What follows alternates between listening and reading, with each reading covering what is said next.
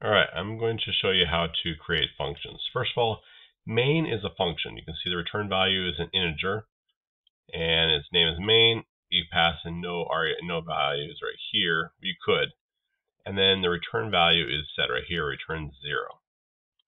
If I want to create a new function, I can. So up above it, I'm going to create one to calculate out the area of a circle.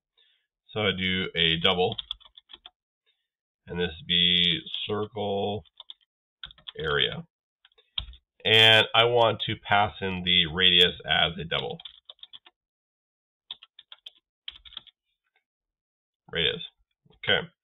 Now, the way you calculate out the area of a circle is pi times r squared, or radius squared. So I'm going to go ahead and create a, well, const double pi equal to 3.14. I could be more if I wanted, but I'm just going to stick with that.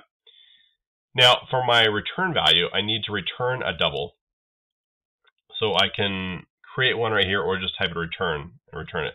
But I'm going to go ahead and create one. So I'm going to call it my return or r value. And it's going to be equal to the radius times the radius times pi. So, well, pi times radius times radius. And then I just return that return value. So return r value.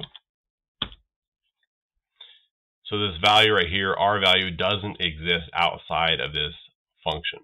So once this function is gone, it's gone too. So you can't actually use that one in uh, externally.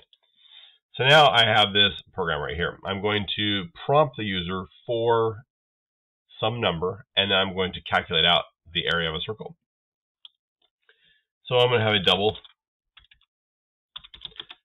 for R, and I'm going to have a double for area.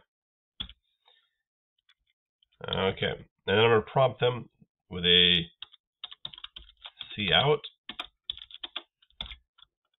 Give me the radius of a circle.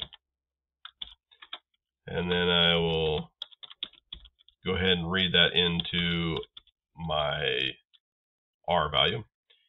So std cin into R.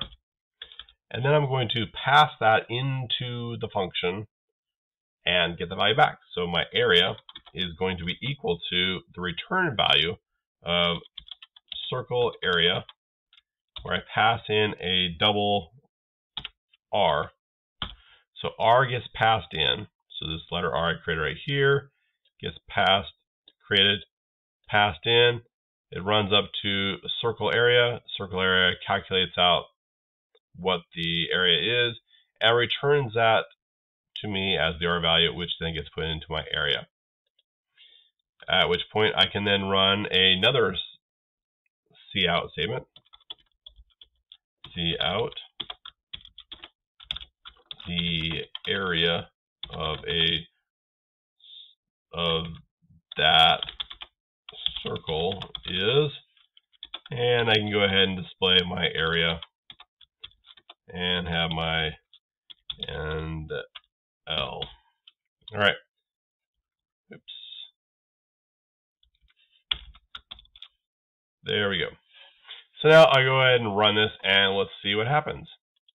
So I run this and it says give me the radius of a circle. So I say 5 and it says the area of that circle is 78.5. So that's 5 times 5 is 25 times 3.14 gives us 78.5.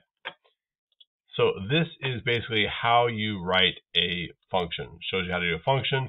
Just remember it has a return value and this return type right here needs to be whatever is returned and it has a name and you can pass in arguments and it's a comma separated list of arguments. You calculate it internally. All these internal variables are internal only, and they don't exist outside of the function. And then when it returns, it comes back, and there you go.